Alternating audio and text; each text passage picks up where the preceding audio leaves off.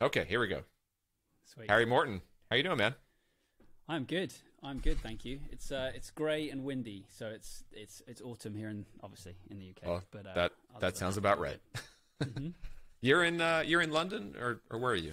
Not anymore. I used to be. I live now in Somerset, which is like two and a half hours southwest. Um, we're kind of a stone's throw from Stonehenge, kind of. Okay, Uh, if you you know some old rocks is a useful landmark for you. Very cool. I've I've only done the tourist thing in uh, in London. I got to see more more of England. Yeah, it's good. We're famous down this side of the, the, the world. We're famous for uh, cider and cheddar cheese. Like, uh, Oh, so yeah, Sounds I'm not good. It far from the town like, of uh, Cheddar, where it, where it originates. Um, oh, cool. Cool. yeah, it sounds like the the Vermont of of England. It's yeah, it's not too dissimilar. A touch, Yeah. not quite such brutal winters, but you know we don't get the skiing either. So you know, There you go. There you go. All right. Well, we're not going to talk about uh, cheese and cider. We're, let's let's talk music. Um, you know, th- this is. I think this is going to become. I think this might. Th- this whole Open Threads podcast might turn into me inviting all of my web industry friends who happen to be musicians, so we can geek out on on music. That that awesome, I would be I totally it. fine with that. great. Um, I mean, basically, when I finish up work at the end of the day, I spend all my waking hours that aren't with a child uh, on YouTube. I think I've completed music YouTube at this point. If there's a if there's a video reviewing a piece of gear that I haven't seen, uh, Oh man. you know, oh dude, I- I've gone down that rabbit hole so many times. My uh, yeah, my my YouTube, um, you know, recommendations is, is full of just gear reviews and recommendations. All right, so let let's actually get into that. So, um, you know, there are so many different types of people who have hobbies in music. So, how do you define your interest in music? And my understanding, for just, just from the little bit that I know about you with with music, is um, uh, other than the fact that you run like a podcast hosting uh, or podcast production uh, company. We'll get into that in a different episode um, called Lower Street, which is which is amazing. You guys have done awesome work, but yeah, we're going to talk about music on this one. So, um, you're like into elec electronic music, beat making, synths. What Right. what are you into? Exactly that. So i um i like so music has been a big part of life forever for me. So i grew up my mum was a piano teacher. I went to school focused on music was terrible at anything academic and just really kind of focused on the arty stuff. Um, went to university and studied music technology. Um, Oh, cool. So and did I. so yeah cool. So i was just doing a lot of like composition and production, but it also kind of led me into the kind of more technical side. So that's what got me into post production, which is what led me into the kind of things that eventually led to Lower Street in, in kind of the podcast side of things. Um, What so kind I've of always- music were were you always into listening to? so back when I was a kid, I was. Um, it was pretty broad when I was a child. My mum was like massively into classical music, but also kind of a lot of Motown and you know classic, classic kind of British pop stuff. Um, so I was you know pretty like average, generic background. But it was when I got to university that I really started to nerd out on like jazz in particular. Um, like I did, I was a drummer growing up, and so my teacher kind of got me into Herbie Hancock and like those kind of you know like a lot of kind of classic Funk. funk, and, Yeah. and and stuff like that. So I was always into like, and the music I made when I was a teenager was just like super cheesy funk stuff, which is funny by the way because I, I don't know if, uh, if you've heard of a guy called Louis Cole. He's from LA, super cool musician, and he basically embodies everything I wanted to be when I was 14, except and is as lame as I was when I was 14, but just totally owns it. Like he's like this totally nerdy, geeky guy. Uh, super funny, amazing music. Anyway, so that was that's what I was into. I was into kind of like jazz and funk and all that kind of stuff. And then when I got to university, because I was like on the technical side of music, if you know what I mean, like we were into production and engineering and stuff. That's I, kind of inevitably led me down the path of synthesis and kind of being behind a laptop and doing kind of um, that kind of electronic style of stuff. Super interesting. The the Um, funk stuff, like like for me, like I I basically come from a background in like rock music, um, Yeah, in general, but like, but then, um, I did, you know, I started venturing into into jazz a little bit with guitar, and and but like the funk side of things was always what drew me. What what was like the most interesting thing about, especially like harder rock, like that that has like a funkier side to it, like Chili Peppers, Rage Against the Sure. Machine, you know. Yeah. Um, and then I and then I got into like hip hop and and also like the mix of like hip hop and rock and like a lot of that is just driven by like you know funk and and I, I went through a little phase with with Herbie Hancock and that kind of stuff. Um, Nice. Yeah, it's And kind then, of exactly um, the same for me with like the.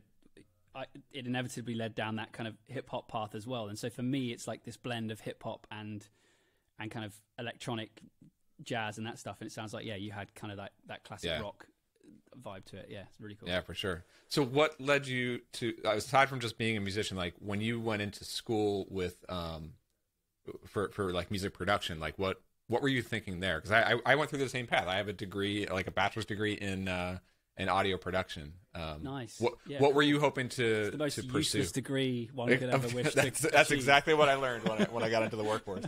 Yeah, Um, it's just like I, basically when I left school, I was like, well, what do I like to do? This is all I want to do. So I guess everyone goes to university, so I guess I'll get a qualification. I think if I was if I was able to mentor myself now, I'd say just go work in a studio and learn what the industry is actually like. Like, was that a what you wanted to do, like like studio or live sound or No, definitely not live sound. I was definitely Yeah. more of a um, like, uh, yeah. I, I'm I'm I, I love live music, but it's never been like the thing that I love the most. I'm much more of kind of a nerdy, headphones on, like really Same. geek out to, to music, you know. Um, and so, uh, so that's that's kind of what I was always about, and um, yeah, it was just. I mean, university was just an excuse to indulge my favorite thing, and I just figured like I'd figure the rest out, and that's kind of what happened. So I, you know, I initially thought I wanted to work in a studio in a music production kind of environment.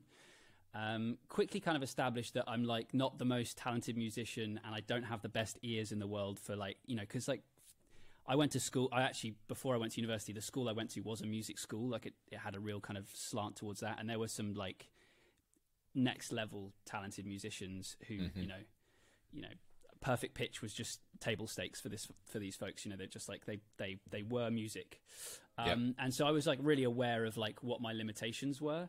Um, and so where I kind of really thrived was that kind of nerdy middle ground of like the tech and like being experimental and like using different things in different ways. Um, and um, yeah, and and that's you know that's ultimately what led me to go down the kind of post production path of like okay maybe like it, this is music adjacent. I'm still using my skills here, and I'm actually I think the way that you can craft sound that's not like a musical sound in in a creative way that tells a story is is every bit as musical in my mind as as kind of mm-hmm. like making a beat kind of thing. So so so you got into like things. mixing and mastering and, yeah, and exactly that whole process?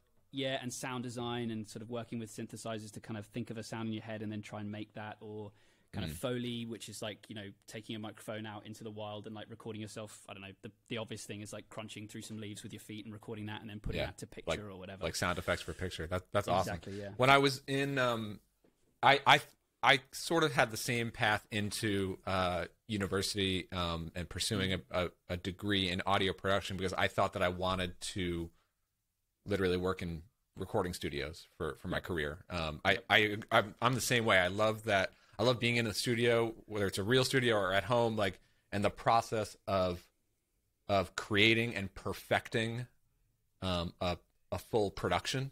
You know, getting every take and then and then editing it and mixing and mastering and, and all that. I mean, one one thing that I learned, and I I do like the the technical side of of producing and using all the tools and software and stuff like that. But one thing that I did find is I'm I, I maybe I'm a little bit of the opposite from you, whereas like the the music side comes more much more naturally to me, and also the the creative composition side is, is what I was always drawn to, but the um a the, the the audio production like having an ear for that like really getting the frequencies perfect and getting the bass dialed in I've I've always sort of struggled with that.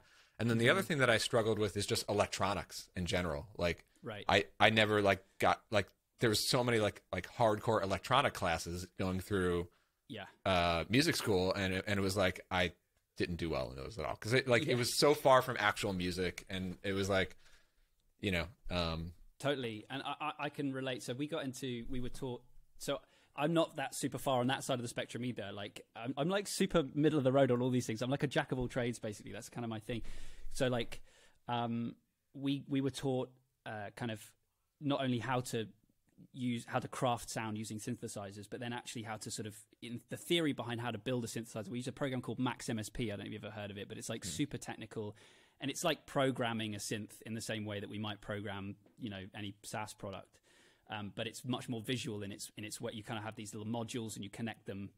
Anyway, uh, I found that just to be just that one step too far away from like the actual creation of music. I, my create like my mind of all the ideas I could come up to, which up with for it was just like incredible. It was such an exciting idea, but then Yeah. the thought of actually sitting down and figuring out the maths behind how to make these things interconnect and do what you want was just too too much. One of the th- like with sound design and synths, I, I actually got into it more recently, just in the last couple of years. Like it wasn't Mm-hmm. until my late 30s that I actually started to, to learn how how synths work and how to how to design sounds and, and use them. And um, I I really regret not learning about that, uh, learning about sound design when I was really in it back in my 20s. You know, um, I sort of just it's weird. I I was aware that it's there. It was it was part of the music that I was making, but I was much more into like samples and just composing stuff for. I got into like uh, composing music for for film and TV and Yeah, awesome. and um, but just using like like sa- like different sounds, but not actually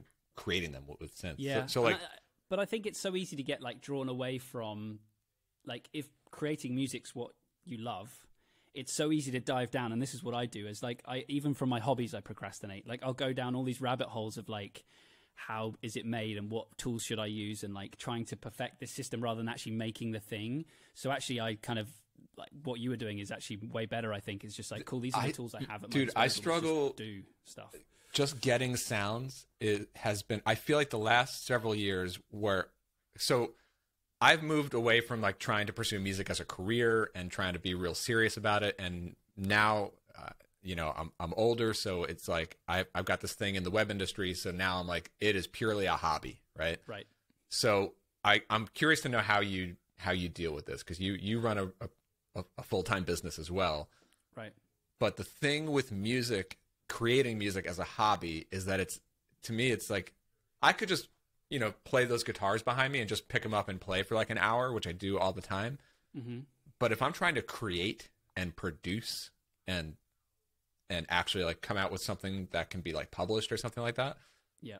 we're talking about like months of deep creative work Yeah. um, sure. and and then I, I I just get so sucked into like just getting the sounds and and choosing from thousands of sounds and and using synths and dialing it in and and buying gear and testing it out and like when when it's like I don't have the time or for that you know like I can't just sit for two hours on a Saturday and churn out a whole a whole finished track Right. you know um so then so then I'm left with like well I can't even do that at all like I could only just strum on the guitar a little bit so Man, I can so relate. Like, I spent all of my 20s going, if I could just afford this gear, uh, I'd be able to make just the best music. And all I did back then was like, I'd have a job from time to time, and then I'd, I would just be like at home making tunes all the time. And it was, and I miss that flow state that you would get into because you're just like, there's nothing between you and just making music. And, and, and now I find it really hard to, to kind of context switch from work and then come back and make that music.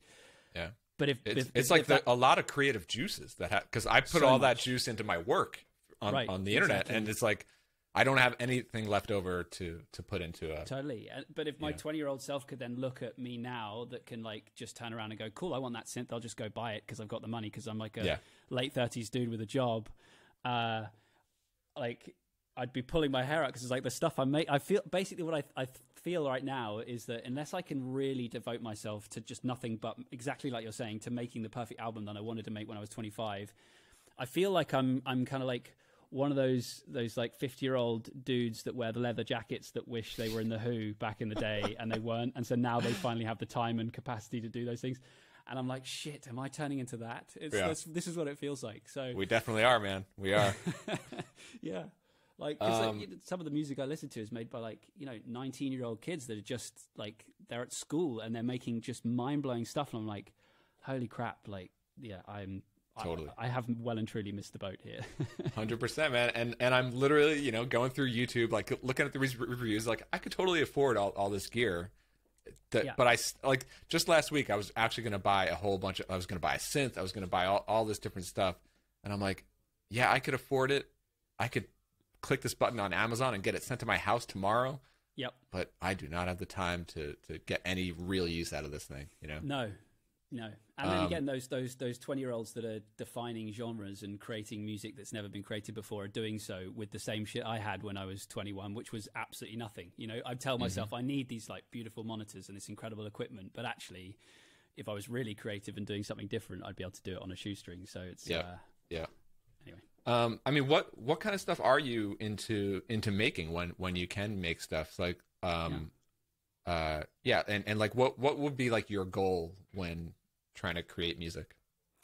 So right now, I've really kind of so I've gone through a period of I've got two young kids, a three year old and a nearly two year old, um, and so basically the last two years has been more or less a complete write off. But the the youngest is now getting old enough where I I maybe have like two minutes to rub together every now and again, and so really the goal for me is just to get to a position where I can get back into that flow state, like I said, because I, I never knew I didn't label it a flow state back in back when I used to do it because I you know didn't know about it. But but that's really what it was. Like there's just nothing mm-hmm. between you and that creative process. Um, and so now I spend so much of my time kind of like getting everything ready and like trying to get myself into the into the zone. Um, and really so that's that's uh, my only goal right now is just to make stuff um, and just to be in that making process. Um, so yeah, ultimately, I've got so many ideas of things I'd like to make. You know, records, you know, albums, EPs that I, that now we can put out across. Uh, you know, I used to just hang out on SoundCloud all day. There was an amazing mm-hmm. community there, um, but now like we can just you know use DistroKid and put everything up on all the different platforms um, yep. right away. So you can literally make a record the same as it's, it's kind of mind blowing to be honest. I miss so, the idea of a record. I, I like I always yeah. hate the idea of like these artists just putting out like a single or even an EP with like four tracks. I'm like, that is not. You, I, I want 12 plus tracks that I can totally. go start to finish. Uh, this know? is a problem I'm experiencing a lot at the moment. So I love the the Spotify um, algorithms. I, am a I'm a what's the word? The something file. You're always looking for like the next thing. I don't like necessarily mm. listening to the to the same albums again and again and again. Of course, I have my favorites that I come back to, but I, I'm always looking for like the new. Um, and so the Spotify. I'm the opposite. I just stick to my really? tried and true. Like this stuff is, and I listen to the same stuff over and and, and I, every time I try to discover new music, I'm like, man, this is like me getting old. Obviously, it's like everything today sucks, and everything from a couple de- decades ago is, is the best. Like, come on. Yeah, it's awesome. Um, I mean, I agree. By the way, like I am well and truly stuck in 2010, so like uh, that is definitely true. Um, but uh, but anyway, to your point about singles, like it, that it really frustrates me because I love all these things that spit up new new artists, new idea, new things. But so often I'm like, oh, I love this track. Like, what's what album is this from? And I click into it, and it's just a single. And it's like, yeah. everyone seems to be doing that in in singles, maybe EPs if you're lucky, or there might be a B side, like mm-hmm. B side of of your Spotify MP3. Yeah. Um, I've had so, this thing in my mind, like like that I've wanted to. I don't know when I'll have the time to actually do this, but I the, my music creation in my 30s and now 40s is the the goal is to create um, I guess you, you might call it an album or like a string of tracks that I would put up on Spotify or something and, and SoundCloud that is mm-hmm. intent just instrumental music. I've, I've always been an instrumental yep. music person, especially when I work. I can only listen to instrumental stuff. Um, mm-hmm. So I would love to just create a bunch of tracks that are awesome to to work to. Um, oh, cool. Yeah, nice. Uh, like in, in, the creative zone, right? And because that's what I listen to a, a lot um, when I'm working. So, and I, I did that maybe three or four years ago um, when I was working in on, on Audience Ops, and Audience Ops got to a point where it was running uh, largely without me, and it was before I got into doing ZipMessage, so I, I wasn't really in startup mode anymore. Mm-hmm. Um, I had a lot more free time, and I and I was actually spending a lot more time in, in my basement studio. Um, uh, but then then I got into ZipMessage, and then like all my energy just went into that, and I sort of stopped. Right. Um, sure. But the um, that that would be like a goal for me is to like produce stuff that I could see myself tuning into like on repeat while I'm working on on the web. You know. Yeah, um, awesome. I love that. But it's, it's like I, I thought so about hard. doing that myself a, a, bit as well. Like, what do I like working to the like? What what music do I get the most kind of benefit from or utility from, and like what is there not enough of out there already, and why don't I just go and make some of that? I think that yeah, I'm I'm really into that. Um, uh, what kind of yeah. what? Let's let's talk about gear. I mean, what what kind of what kind sure. of stuff do you, you have lying around over there?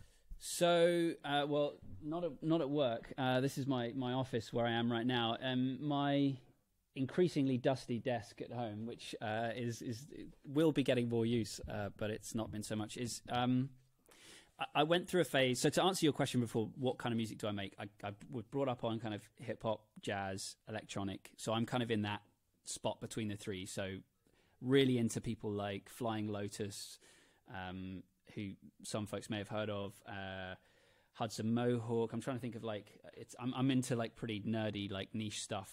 Um, but it's it's really that kind of electronic instrumental hip hop stuff. J Dilla was a huge influence on all the stuff that Mm-hmm. I'm I listening to a lot of um, Ronald Jenkees these days. Oh, nice. Um, yeah, yeah, yeah. uh, Ratatat. Yep. Um, Yep. Yeah, a lot of stuff, random stuff. Like, um, trying to think what else. I don't know, but like stuff Yeah, like that, cool. like is is like Totally. That's that's like a lot of a lot of synth, lot just like heavy like composition, just like good songwriting, but it doesn't have any words. Um, Yes, it's, is exactly. really interesting to me. You know, Yeah, for sure. I, I absolutely love it, and uh, it, it- yeah, obsess over that stuff. So, w- what do I have to make it? I went through this phase, this real obsessive phase of of like I spend my whole day staring at a screen. I want to get away from screens because I so I my Mm-hmm. my digital audio workstation, my door of choice is uh, Ableton Live. Mm-hmm. So I produce everything in there, um, or I did, and I was like, I need to get rid of Ableton. I need to like just be on a desk with some stuff that I could with just buttons and physical knobs and just like yes, and do that which has this am- and that's why I've completed music YouTube because I watched all the stuff on like which things do I buy you're describing like my whole past two months. I, I and like. I, I actually never got into Ableton, um, weirdly enough, but I, I was into Pro Tools a lot when I was younger, and then Yep. and then Reason, and then more recently, uh, when I picked it up again, I got into Logic, yeah um, and uh, and a couple software synths on there, um, Serum, I got into, Yep. and a couple other stuff like that. Um, cool. uh, but I had the same thought as you, like just a couple months ago now, like yep. there are too many, there are endless options when you're in software land on on sounds. so many and, and- it's and kind of production, depressing as well man because like I, when I was a, sorry I'm interrupting you but this Yeah. is, I'm passionate about the shit because Yeah. like I was my whole thing when I was early 20s was lo-fi right because I didn't have the money so I wanted to like embrace that and make lo-fi hip hop that was kind of the stuff that I was into so it was like Mm-hmm. really like cheap sounding but like gritty and amazing and so that was partly because of the tools i was using and sometimes i'd like take things and record them onto a cassette tape and then back into the computer to get that kind of grainy feel to it and it was like really cool but now there are plugins that you just like switch it on and you've just like everything sounds exactly like It- that stuff that we had to go to great lengths to create in the past We don't have so- the, the constraints anymore, you know. Right. So suddenly I was like, well, then if I could just make anything, then like, you know, like why should I? Yeah. So my thought was, let's get back to the roots. Let's like get a really nice keyboard. Let's get some synthesizers, some drum machines, and like have it all external. But what I can tell you, it turns out, seems like you didn't make that purchase. And before you do, I would encourage you to, to consider it because what I found was it's just another layer of like okay now i've got to learn this shit and i've got to like figure out like I, I my goal what i've realized after buying some of this and now subsequently putting it up on ebay is like my goal is to get into that flow state and making music. And actually what i'd done was remove myself from the screen sure like that's great but actually remove myself further from that creative thing that i was seeking. Like i mm-hmm. just spent more time going oh for christ's sake why does this midi not go here? And why is this audio not Yeah. you know it's just like Yeah. way too complex. And so actually Yeah, I, I just mean- decided screw it it's more screen time but it's it's my screen time you know? So you went back to like the like a like a DAW. it's back to ableton because i just know i can switch it on and make stuff right now you know that, that's sort of where I landed. I mean, I'm, I'm I still just lack the time, but um, but part of my challenge with it was like, all right, when I'm in Logic or when I'm, you know, with with all I got I got like all these like samples and stuff. It's like I spend so many hours just picking sounds, like they're. they're- You know, just like clicking through like a hundred different snare drum sounds. Like, why am I doing that when I when I should be creating something, right? yeah Um, totally and so yeah like and and my thought was i started looking into these um i thought i started looking into just buying like a hardware synth and then i looked at like all of them and i was like well this one's got that that, that one looks good but it's super expensive. Do i really need that? And then and then it's like then i started looking at you know i'm, I'm watching tiktok with my kids and all and all these young kids are doing these like looping stuff now right? Like like maybe that maybe that's a way to like rapidly create and have the the limitations of like you got to just loop it and, and create something don't sit there for hours picking sounds right yep um thought about that but yeah just a thought just just clicking Yeah. around youtube I know. fantasizing It, it, it, I know. Basically, what I'm realizing is there's no, there's no magic. Like, yeah, I don't know. Again, for me, like the goal is to get into that creative, that creative space. And well like, what kind of hardware stuff did you uh did you get into So I got um, I mean, this we're really alienating our audience here. So you know, for uh, like there's probably like three. Oh, like the, the, the three people who are talking actually geeks about this stuff are going to love it. about. Yeah. So I got a. Um, so I'm really into Elektron as a brand. If you know Elektron, so they create this. Uh, they've got a thing called a Digitakt, which is like a little groove box. It's like this big, and it's just takes samples in. Great for making beats, but you can kind of do some melodic stuff with it as well. And it's very immediate, very kind of hands on. I still, I'm not selling that. It's it's wonderful. It's a really cool thing. Um, um, then I got like 1010 Music is um, this this brand out of America with a, they've got um, a blue box and a black box. The bl- black box is a sampler, and the blue box is a mixer. And so those became kind of a bit of a hub, which everything went into. Um, and then on the kind of sound source side, I've got like a Novation Peak, which is my main synthesizer. That's a wonderful thing, um, and a few smaller kind of um, hardware synths, which are, are kind of like cheaper, like things to kind of mess around with. Nice. Um, So you record into that into that other box, like, or, or are you yes, you can recording record into, the blue box. Yeah. Okay. Um, but honestly, like I, I haven't made a lot of pro- like this is something I've done over the last two years. You know, when you're you know woken up at 3 a.m. yet again by another child and you can't get back to sleep, so you're just like, okay, my escape is going to be music, and then you get all this shit and you don't have the time or the energy to do it, and so I've not. I, I haven't used any of this stuff to the extent that I should have done. Whereas, again, I Yeah. switch on Ableton again. I've got my Novation Peak, which I do use, and I'm just making music right away, and it's amazing. You know, so Yeah, uh, I mean, I, I was really thinking. I want to look. At, I actually still want to try to achieve this dream of like record and create without using the screen because I was looking into this Mhm. um, just a few weeks ago, um, and I couldn't Reel, find a reel good. to reel's making a comeback, man. You should get Reel to get reel, right? tape. Yeah. You know, I mean, because it I also do- forces you as a musician. It forces you to nail the take, right? I mean, you could get into cutting 100%. could just like do the take, right? Yeah, that- I mean that's why I was really looking at these uh like the the loop station thing where, Yep. where it's like um and actually that that red pedal down there is is a looper but that's like a one one Oh, Okay. single loop. Um they they make one with like five. Um but that would that would enforce those like limitations because I dude I remember a, a, a 14 year old version of myself where I had the the the old blue Tascam four track recorder amazing. even before before I had that, I, was- I just had a regular stereo with two tape decks. You Yep. record one and then you, you overdub to the other, and it, and it like loses Yeah. quality every time you do it. Um, man, I, I miss that because it's like, and but then once I got the four track recorder, Yep. it was like I can get ideas down fast. Mhm. I'm limited to four tracks, you know, um, Yep. and it's just it, and it, was makes you beautiful. commit, right? Because then you, Yeah. you, so let's say you record like drums on three tracks, and you bounce them to the fourth track, so that you've got three tracks spare again. You're like, Mhm. well, that's my mix, that's my take, that's my mix, or you know, you make these sub mixes, and and it kind of just makes you makes you do stuff. And I think you know, again, with software, it's so easy to just kind of tweak to infinity. Um, Yep. And actually, maybe what we need to do is just hit record and do it. You know, And then even with sounds, I mean, you look at a band like um, if you listen to Rat Ratatat. Um, Mm-hmm. I don't even know if that's how you pronounce their name. it is, yeah. Um, they they are essentially like three or four sounds, and they like in terms of like their their guitar and synth and, and drum sounds, like they they just commit to those sounds, and they and they write all their songs using Right. using the same sounds. Like they're not reinventing their sound with every with every track, you know. Um, Yeah, and I'd love I to love get to that that 'cause point where have- it's just like I commit to, to th- these are my favorite sounds. Let's Right. write twelve songs, and it's your these, signature. you know? It's your it's got Yeah. your your your DNA in it, and I love that because it's funny because again the hip hop thing, the, a lot of a lot of the hip hop thing is always about the the new because you're looking for that new sample, right? Because back in the day, people would be digging through the record shops looking for like Mm-hmm. Yep. that R and B track from the '70s that no one yet has sampled, and Mm-hmm. creating something that that is fresh. And so there was always this desire to find new drum sounds, new samples, new textures, new kind of you know sources. Um, but actually, as I think about some of the favorite producers that I listen to, they use that same electric piano sound on basically every record, and they use that same kind of lead sound, or that the bass is very similar from track to track.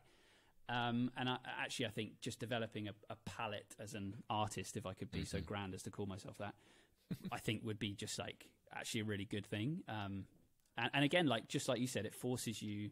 Those constraints do force you to be creative in other ways, and so I think, Yeah. if, like, okay, cool. How do I make four tracks that are distinct and unique, but using the the same sound sources? Um, I think that's a really interesting challenge. Man, this is dangerous. Now, now just having this conversation makes me want to go spend a bunch of money on, on random gear that I will never have time to, to use. Um, awesome, man. Well, uh, Harry, I, I mean, we can we can just geek out all day on this stuff. I want to hear your stuff, by the way, too. Uh, Uh? Oh, I was about to. I was about to say my, my SoundCloud handle, but maybe I'll save that. we could put it in the show notes if I just if I change right. my mind. But I'll share some stuff with you for sure.